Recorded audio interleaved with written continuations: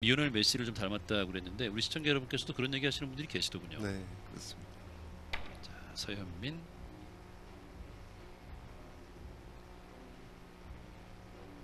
득점됐습니다. 아, 좋습니다.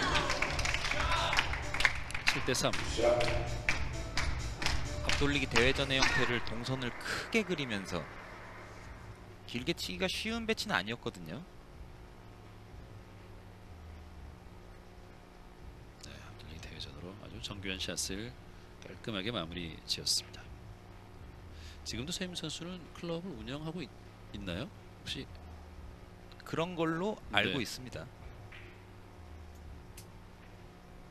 자 오른쪽으로 옆돌리기 자, 두껍게 밀어내고 회전 자이 정도면 네. 충분하죠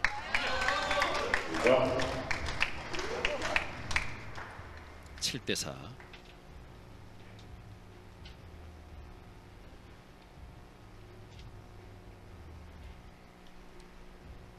네, 자, 스핀볼 형태로 공략을 했습니다.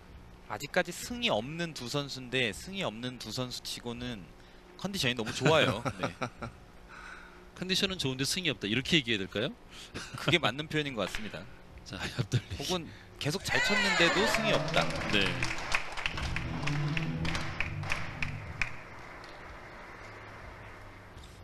그게 좀 쌓이면 그게 실력인 거죠.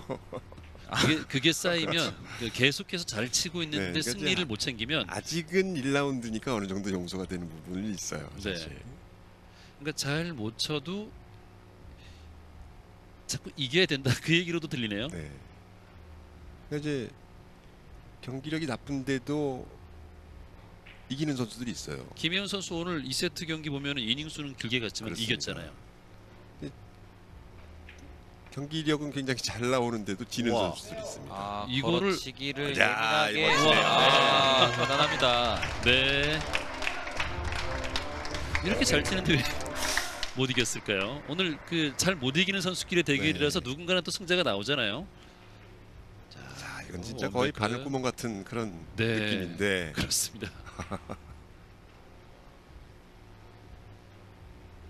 어, 뭐, 네, 동료 선수가 감탄해하는 그런 아주 멋진 원뱅크 걸어치기. 네. 이거는 뒤돌리기인가요? 회전의 방향으로 봤을 땐 뒤돌리기를 치는 것 같고요. 네. 자, 길게 구사했고 퍼쿠션 좋습니다. 네.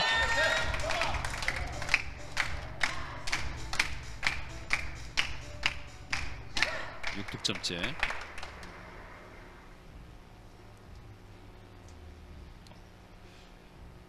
서현민 선수의 기세가 괜찮네요. 이제 2이닝입니다. 그러네요. 네, 정말 무서운 실력들을 보여주고 있습니다. 11점 경기라서 이제 2이닝인데 점수는 지금 서현민이 석점 남았고요. 마르티네스는 넉점 남았어요. 한 큐에 끝날 수 있는 분위기. 타임아웃을 요청한 서현민.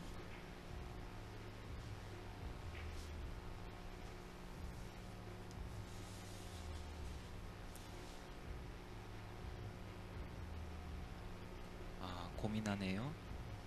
파란 공을 일목적으로 삼기에는 뭐 비껴치기라는 초이스가 있긴 하지만 확률적으로 봤을 때 아니라고 생각을 네. 했네요. 아, 뒤돌리기 이거를- 짧게 보는 거죠. 뒤돌리기 아, 짧게는 짧게. 네. 네. 자, 충분히 괜찮나요? 가능성 있고요. 좋습니다. 좋습니다. 네. 좋네요 서현민 9대 7 서현민의 cue ball이 노란 볼인데 이거는 뭐 bank shot 가겠죠? 자, bank shot도 지금 쉽지만은 않습니다. 긴급 출발인데요. 네. 맞는 방향이 조금 애매하네요. 그러네. 60에서 그렇습니다. 출발 자, 지금은 비껴치기 형태로 아, 대단합니다. 자, 이렇게 해서 서현민 마무리를 짓는군요 11대 9 지금은 지금과 같이 맞지 않으면 네. 다른 방법은 굉장히 어려웠어요. 자, 공 하나만 맞고 빠질 수 있는 확률이 너무나 많았던 공이었거든요.